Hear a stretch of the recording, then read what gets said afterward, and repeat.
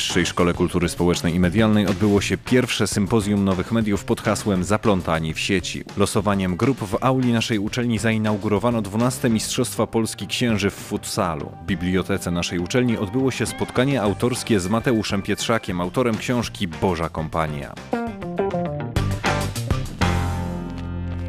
Wyższej Szkole Kultury Społecznej i Medialnej odbyło się pierwsze sympozjum nowych mediów pod hasłem Zaplątani w sieci. Uczestnicy sympozjum mieli okazję wysłuchać studentów i doktorantów zajmujących się zagadnieniem nowych mediów w różnych jego aspektach. Jako samorząd studencki chcieliśmy, aby w naszej uczelni odbyła się konferencja zorganizowana specjalnie dla studentów i doktorantów, gdzie młodzi naukowcy z całej Polski będą mogli przyjechać i podzielić się swoim doświadczeniem naukowym.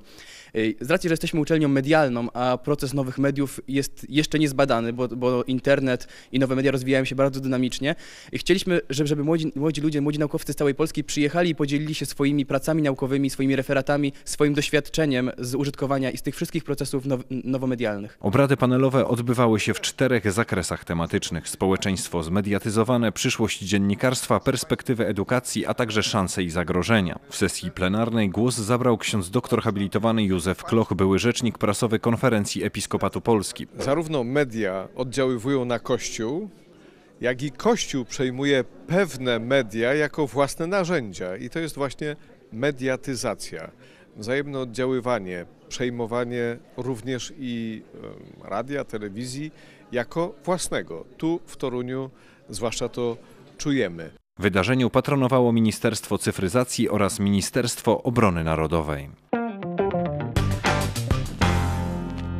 W naszej uczelni zainaugurowano studia podyplomowe na specjalności relacje międzynarodowe i dyplomacja. Studia relacje międzynarodowe i dyplomacja skierowane są do osób, które mają wykształcenie politologiczne lub pokrewne i chciałyby uzupełnić swoją wiedzę na temat międzynarodowych stosunków politycznych, gospodarczych, organizacji międzynarodowych, na temat protokołu dyplomatycznego, wszystkich zasad panujących w międzynarodowych stosunkach politycznych czy mediacjach i negocjacjach. Stosunki międzynarodowe jest to nauka, która rozwija się e, bardzo szybko.